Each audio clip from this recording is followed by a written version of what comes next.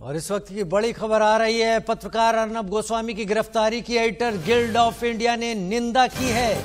Editors guild ने Mumbai police की कार्रवाई को मीडिया के काम में बाधा पहुंचाना बताया है।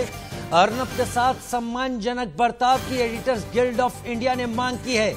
आपको बता दें कि रिपब्लिक टीवी के editor in chief Arnab Goswami को मुंबई पुलिस ने आज गिरफ़्तार कर लिया। अर्नब को दो साल पुराने एक मामले में गिरफ़्तार किया गया, जिसमें अर्नब पर खुदकुशी के लिए उकसाने का आरोप था। वैसे ये केस बंद हो चुका था, लेकिन इसे दोबारा खोलकर मुंबई पुलिस ने जिस तरीके से और जिस आनंद फानन में अर्नब को एकदम सुबह उनके घर से उठाया, वो उद्धव सरकार और प्रशासन की शक्ति का दुरुपयोग से ज़्यादा कुछ नहीं है। इसे आप पुलिस की बदले की कार्रवाई कह सकते हैं। ऐसी कार्रवाइयों की निंदा होनी चाहिए।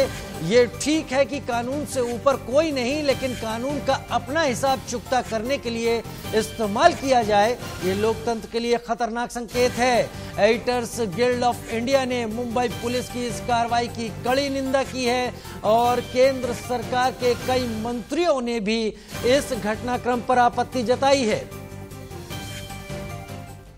और आईटीवी नेटवर्क के फाउंडर कार्तिकेय शर्मा ने भी अर्नब गोस्वामी के खिलाफ कार्रवाई की निंदा की है। उन्होंने कहा है कि अर्नब गोस्वामी की अचानक गिरफ्तारी निंदनीय है। प्रेस की आज़ादी पर ऐसे हमले के खिलाफ समूची मीडिया बिरादरी को मिलकर खड़ा होना चाहिए।